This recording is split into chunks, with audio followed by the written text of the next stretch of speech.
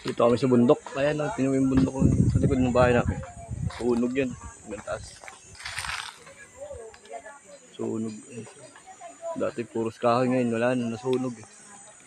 Itong may bato. Eh, hindi nasunog. Laking bato yan. Yan. Kasi kita mo yung mga sangay.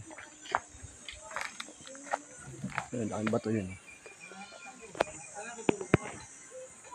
Yung bato na yun, malaki yan. Ang nakakatakot pag ano, pag tag-ulan. Yung bato na yan. Kasi pag lumubot yung lupa, baka pwedeng gumulong yan dito eh. Maganda naman dito, mahangin ang ginawa kasi mainit sa biyahe.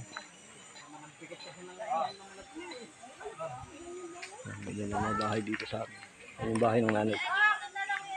Probinsyang probinsya talaga. Ayun, yung bahay ng nanay ko. Walang, ah, papalagyan ko pa ng kusina. Yan ang project ko eh. Oh, Ashley. Hindi pa ano yung kusina, hindi pa tapos. Pinagawa ko na po yan kaso yan ang kabahayan. Yung kusina niya wala pa. Wala pang budget. May mga talim ng tatay. May mangga. Sampalok. May nara. Mangga. Yung mga bunga kukuha nga kami mamaya. Kaya dito. Pili.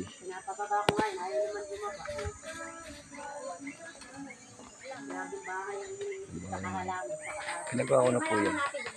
Kaso kulang pa ng budget sa kusina. Wala pa akong budget sa kusina. Hindi ipon pa po.